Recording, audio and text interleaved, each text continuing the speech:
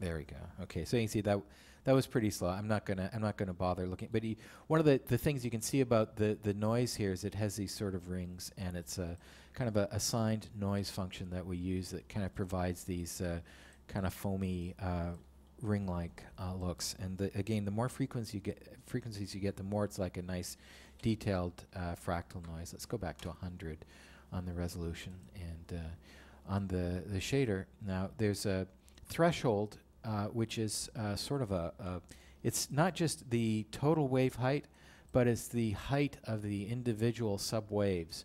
So um, uh, it's the the threshold is is kind of like a curvature threshold at which it will a curvature and height threshold at which it'll produce the uh, the foam, and uh, it's not dynamic foam. So this this foam here is uh, uh, just simply a textural foam, but it kind of lasts into the trough of the wave. So what we do for the foam is evaluate the ocean at um, uh, with a little bit of a lag in time uh, based on the wave frequency. So um, the foam is is actually when a wave is trough is going down, it, it still thinks it's it's all the way up.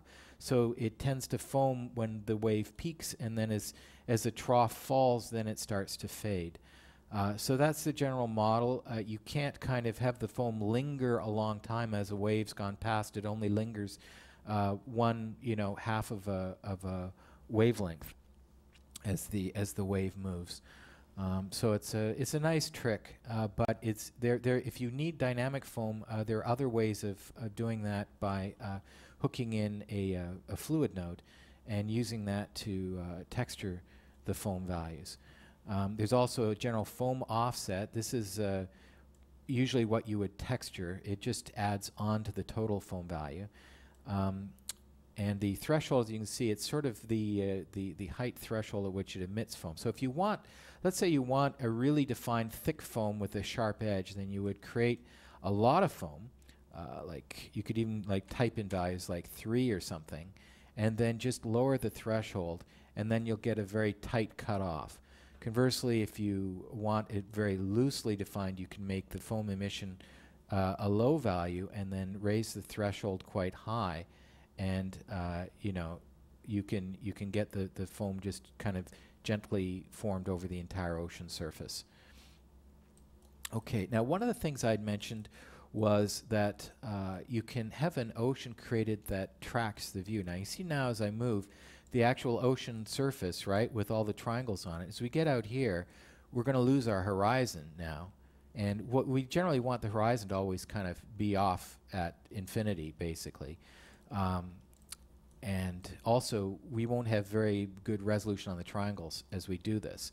So as you move over the ocean, we'll get poorer and poorer and elongated triangles and stuff out here. It won't look good as we as we move over the surface. So there's a little trick you can use. Um, let's just create a new scene and we'll create a completely new ocean. So uh, uh, now when we create ocean, I'll turn on attach to camera. Now, it might look a little weird. There's our preview plane. And as I now zoom in and out, you notice how the preview plane seems to stay the same. And I'll track up and I'll track down. Uh, what's actually happening, we can see if we, um, let me just bring up uh, a layout of, uh, say, uh, four panes. Now, as I, in my perspective view here, as I move out, you can see that, here, we'll just zoom out here. There's our ocean plane. So as I go in and zoom in, you see the actual ocean plane here is getting smaller and smaller. Likewise, if I go up, the ocean plane gets larger, and as I go down towards the ocean surface, it gets smaller. So what it's trying to do, and also if I track, so as I move sideways, see the ocean tracks with me. So what it's doing is it's always keeping the triangles so that most of the triangles are right in front of the view or near the view. And, and so the horizon always stays there, and you can animate a camera moving over the ocean surface, and uh, it will um, e the camera can fly forever over the ocean, and you'll always have lots of triangles. You could even fly in amongst the waves, and there'll always be enough triangles to represent uh, the the peaking of the ocean as you move through it. So uh, this sort of relies on the way the bump works with the ocean because the, the bump is applied to the waves. So uh, the, the actual triangles will sort of move over the ocean as you move the camera. Uh, but because the ocean's moving, you tend not to see this. And also because the shading itself is not affected by that. The, it's just the uh, profile of the triangles is affected. You, you probably won't notice it unless uh, you don't have a high enough tessellation, in which case you can just sort of increase the tessellation on the surface. So that kind of th that way you can go way up in the air. You can see the ocean, you know, through the clouds, and you can come right in amongst the waves and still have enough triangles.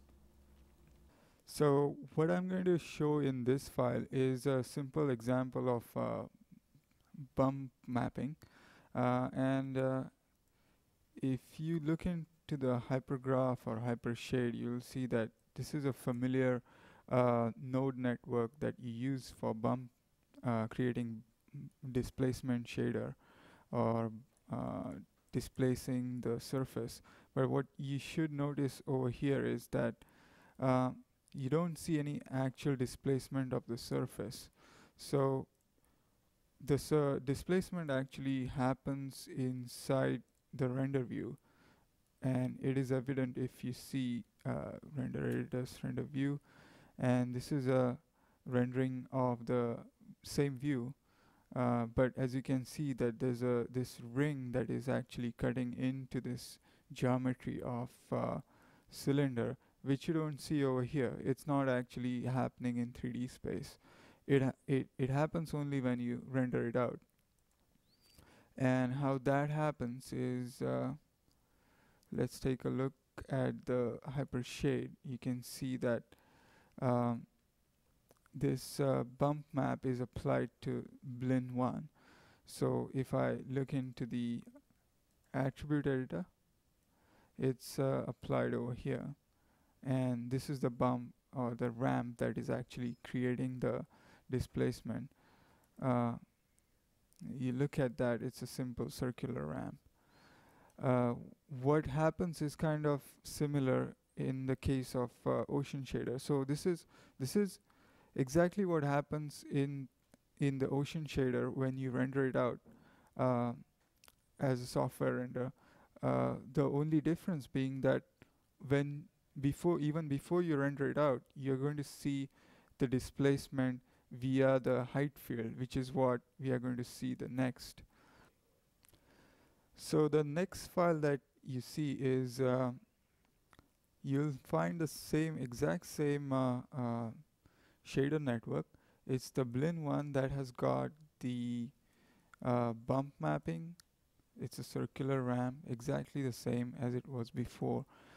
But the difference over here, when you look at it, is that this uh, displacement is being represented in 3D space in my perspective camera. So that actually tells me how it's going to look when when I actually render it out.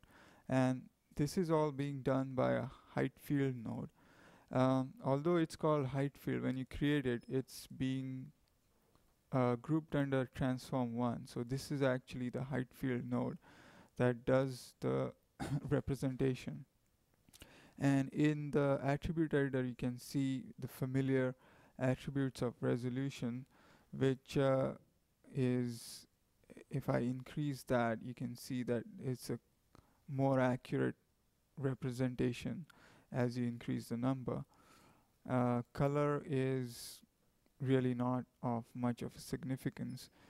Uh, we just set the color as blue um, to represent the ocean and then on top of that you sort of uh, apply the the foam that goes into it. Uh, displacement is actually being driven by the bump map. And here's the height scale. So if I increase or decrease it I can uh, accentuate the actual bump that is being rendered. So if I render this out uh, it's going to be look exactly the same kind of what I showed before.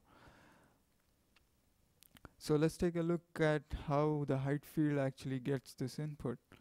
And if I go into the hypergraph, you'll see that the bump or the ramp that was uh, being fed into the uh, displacement has got its uh, out alpha being fed into the displacement attribute of the height field. And this is how the height field knows where to actually show the displacement. And that's pretty much the same uh, way how we use it for uh, ocean